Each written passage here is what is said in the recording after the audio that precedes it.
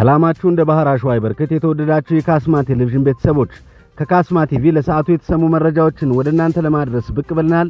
እስከ መጨረሻው ድረስ እንደ ሁል ጊዜው የተለመደ የአብሮነት ቆይታችሁን በአክብሮት እንጠይቃለን። ቆይታችንን በአጫጭር ዘገባዎች እንጀምራለን።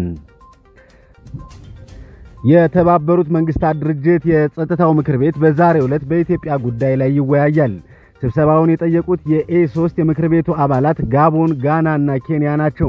በስብሰባው የሰብአዊ ጉዳዮች ምክትል ዋና ጸሐፊ ማርቲን ግሪፊትስ አጭር መግለጫ ይሰጣሉ ተብሎ ይጠበቃል። በኤ ሶስት ብቻ በኢትዮጵያ ሁኔታ ላይ ስብሰባ ሲጠየቅ ይህ የመጀመሪያው ነው። ኢዜማ ብልጽግና ብሔር ተኮር ፓርቲ መሆኑን አረጋግጧል አለም። የኢትዮጵያ ዜጎች ለማህበራዊ ፍትህ ፓርቲ ኢዜማ ዛሬ ሚያዝያ 6 ቀን 2014 ዓ.ም በአምስት ሀገራዊ ጉዳዮች ላይ ትኩረቱን አድርጎ መግለጫ ሰጥቷል። መግለጫውን በንባብ ያቀረቡት ይመስገን መሳፍንት ገዢው ብልጽግና ፓርቲ ህብረ ብሔራዊ ነኝ ይበል እንጂ ብሔር ተኮር ፓርቲ መሆኑን አረጋግጧል ብለዋል። የፓርቲው አመራሮች እርስ በእርሳቸው አውራ ለመሆን የሚፎካከሩ መሆኑን ያነሱት ይመስገን የራሱ የብልጽግና ሰዎች የሀገሪቱ ስጋት ሆነዋል ሲል ገልጿቸዋል። ለእያንዳንዱ ድርጊታቸው ተጠያቂ እንደሚሆኑም ሊያውቁ ይገባል ሲል አሳስቧል። የኑሮ ውድነት፣ የመሬት ወረራ፣ በተለይ ደግሞ በደቡብ ክልል ያሉት የጸጥታ ችግሮች፣ ሃይማኖት ነክ ጉዳዮችና በመንግስት መካከል ያሉት የእርስ በርስ እሰጥ አገባዎች የሚሉት አምስቱ ኢዜማ ትኩረት ሰጥቶ መግለጫ ከሰጠባቸው ርዕሰ ጉዳዮች መካከል ናቸው። ቀነ ገደቡ ሊጠናቀቅ ከአንድ ወር ያነሰ ጊዜ ቀርቶታል። የባንክ ደንበኞች መረጃቸውን ወቅታዊ እንዲያደርጉ የተራዘመው የሁለት ወር ጊዜ ሊጠናቀቅ ከአንድ ወር ያነሰ ጊዜ እንደቀረው ተገልጿል። የኢትዮጵያ ብሔራዊ ባንክ በሀገሪቱ ውስጥ ያሉ ሁሉም ባንኮች የደንበኞችን መረጃ አጣርተው እንዲያደራጁ መመሪያ አውጥቶ ነበር። በኋላም ስራው ብሔራዊ ባንክ ባስቀመጠው ቀነ ገደብ ሊጠናቀቅ ባለመቻሉ ለተጨማሪ ሁለት ወር መራዘሙ አይዘነጋም። ይኸው የተራዘመው የሁለት ወር ጊዜ ሊጠናቀቅ ከአንድ ወር ያነሰ ጊዜ ቀርቶታል። መረጃቸውን ወቅታዊ ያላደረጉ የባንክ ደንበኞች አቅራቢያቸው ወዳለ የባንክ ቅርንጫፍ መታወቂያ ይዘው በመሄድ መረጃቸውን ወቅታዊ እንዲያደርጉና በመጨረሻው ቀን ላይ የሚፈጠርን መጉላላትና መጨናነቅ እንዲያስቀሩ ተጠይቋል። ለዝርዝር ወዳዘጋጀናቸው ዘገባዎች እናልፋለን። ታዋቂው የአንበሳ ፋርማሲ የኪራይ ውል ተቋረጠ። መስተዳድሩ ፋርማሲ ያለበትን ታሪካዊ ሕንፃ ለማፍረስ ይፈልጋልም እየተባለ ነው። ዝርዝር ይዘናል። በጉማይዴ ሕዝብ ግጭት የብልጽግና ፓርቲ አመራሮች ቀጥተኛና ድብቅ ተሳትፎ እንዳለበት በነዋሪዎች ተገለጸ። ማብራሪያውን ትሰሙታላችሁ። የዓለም ባንክ በኢትዮጵያ ውስጥ በጦርነትና በግጭት ለተጎዱ ከአምስት ሚሊዮን ሕዝብ በላይ መርጃና መልሶ ማቋቋሚያ የሚሆን የ300 ሚሊዮን ዶላር ድጋፍ መመደቡን አስታወቀ። ዝርዝሩን ትሰሙታላችሁ። እነዚህና ሌሎች ጉዳዮችን ጨምረን የተጠናከሩ መረጃዎችን ወደ እናንተ እናደርሳለን። እናንተም የቻናሉ ቤተሰብ ካልሆናችሁ subscribe፣ መረጃውን ከወደዳችሁ ደግሞ like ና share እንድታደርጉ እያሳሰብን ወደ መረጃዎች እንሄዳለን።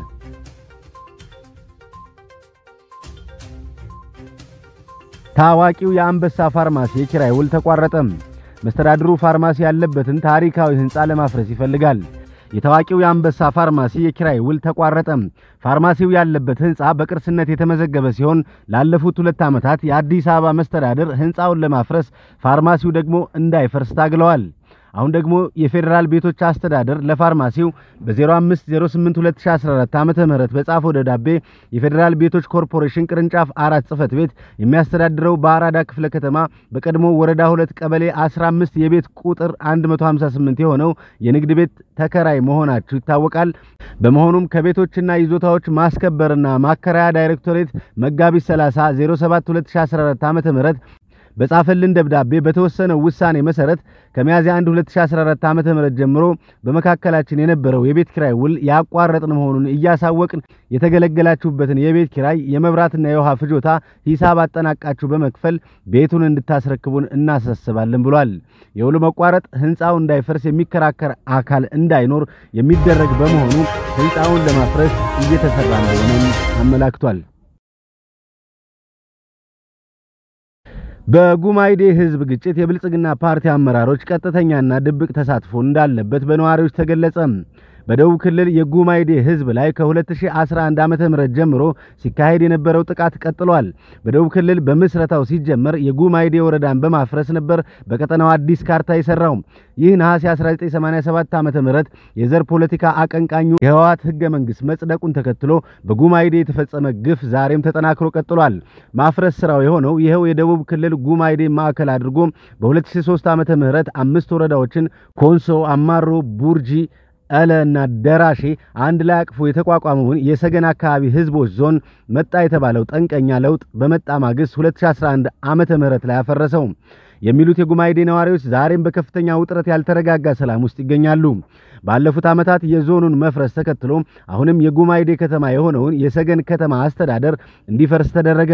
በተደጋጋሚ የመዋቅር መፍረስ የጉማይዴን ህዝብ ስላስቆጣው የጉማይዴ ህዝብ የጉማይዴ ልዩ ወረዳ ጥያቄ ለክልሉ መንግስት አቀረበ። ይህንን ጥያቄ በመቃወም በ2011 ዓመተ ምህረት የመንግስት አካላት ባነሱት ግጭት ቡንቲ በተባለ ቦታ ላይ አማራና ኮሬ ብሔረሰብ እንዲጋጩ አድርገው ሁለቱም ህዝብ ቤትና ንብረቱ በእሳት በመውደድሙ ተፈናቅለው እስከ ዛሬም እንደተበታተኑ ይገኛሉ። ያን ጊዜ የጀመረው ግጭት እስካሁን አምስት ቀበሌዎች ሙሉ በሙሉ ወድመዋል። ሌሎች አካባቢዎችም ሰው አልባ ሆነዋል። ነዋሪዎች እንደሚሉት ከ250 በላይ ንጹሃን ሞተዋል። አካል ጉዳት የደረሰባቸውን ቤት ይቁጠራቸው። የጉማይዴ ህዝብ በኮንሶና በክልሉ ብልጽግና ፓርቲ አመራሮች በቀጥተኛና ድብቅ ተሳትፎ እየተገደለ ያለው በወያኔ የዘር ፖለቲካ አልደራጅም፣ ሁላችንም የኢትዮጵያ ልጆች ነን፣ ቀድሞ የፈረሰው የጉማይዴ ወረዳ ይመለስልኝ በማለቱ ብቻ ነው። በጉማይዴ ውስጥ አማርኛና ኦሮምኛ መግባቢያ ቋንቋ ናቸው።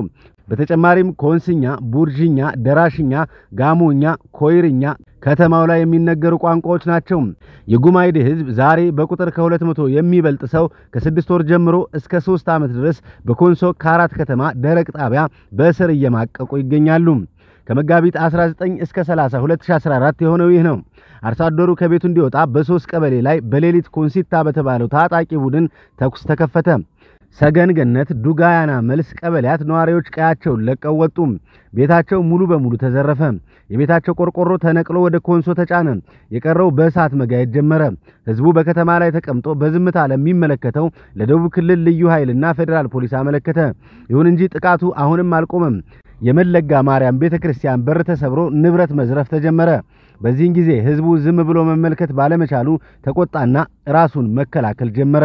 መጋቢት 21 2014 ዓመተ ምህረት የተጀመረው ውጊያ ያለምንም ሃይባይ እስከ 30 ድረስ ቀጠለ። ከ30 በኋላ ቆሟል ማለት ሳይሆን መግደሉንና ማውደሙን ደክመው ነው የተዉት። የሰገን ዙሪያ አመራሮች በህግ ቁጥጥር ስር ካልዋሉ ነገም ሰው መግደልና ቤተክርስቲያን ማውደማቸው አይቀርም። በዚህ መጋቢት ማለቂያ ላይ የሰው ህይወት ጠፍቷል። ንብረት ላይ ከባድ ጉዳት ደርሷል። የክልሉ ሰላምና ጸጥታ ኃላፊ ጉዳዩን በዝምታ በመመልከት የሰገን ዙሪያ ወረዳ የብልጽግና አመራሮች ሙሉ በሙሉ የተሳተፉበት ጦርነት በጉማይዴ ህዝብ ላይ በርካታ ኪሳራ አድርሶ አልፏል። ዛሬም በቦታው የጸጥታ ስጋት በመኖሩ ተፈናቃዮች ያለ ጠያቂ ፀሐይና ዝናብ እየተፈራረቀባቸው ይገኛል። ስንታየው ቸኮል እንደጻፈው የዓለም ባንክ በጦርነትና በግጭት ለተጎዱ ኢትዮጵያውያን የ300 ሚሊዮን ዶላር ድጋፍ ማጽደቁን አስታወቀም። የዓለም ባንክ በኢትዮጵያ ውስጥ በጦርነት በግጭት ለተጎዱ ከአምስት ሚሊዮን ህዝብ በላይ መርጃና መልሶ ማቋቋሚያ የሚሆን የ300 ሚሊዮን ዶላር ድጋፍ መመደቡን አስታውቋል። በኢትዮጵያ ውስጥ የተከሰቱ ጦርነቶችና ግጭቶች በርካቶችን ቀጥፈዋል፣ ሰብአዊ ቀውሶችን እንዲሁም የግልና የህዝብ ተቋማት እንዲወድሙ አድርጓል ያለው የዓለም ባንክ ይህ ሁኔታ በርካቶችን ከፍተኛ ድጋፍ እንዲሹ አድርጓቸዋል ብሏል በድረገጹ ባወጣው መግለጫ። በተጨማሪም በመላው ሀገሪቱ በሺዎች የሚቆጠሩ ነዋሪዎች እንዲፈናቀሉና ወሲባዊ ጥቃቶች እንዲባባሱ ምክንያት እንደሆነም ጠቅሶ በጦርነቱ ምክንያት በሴቶችና ታዳጊዎች ላይ አካላዊና ወሲባዊ ጥቃቶች መፈጸማቸው በስፋት ሪፖርት መደረጉን አስታውሷል። ይህ ድጋፍ የዓለም አቀፍ ልማት ማህበር ወይም International Development Association በሚል ማዕቀፍ ሲሆን በግጭት ለተጎዱ ማህበረሰቦች ድጋፍና መልሶ መቋቋሚያ የሚውል ፕሮጀክት ነው።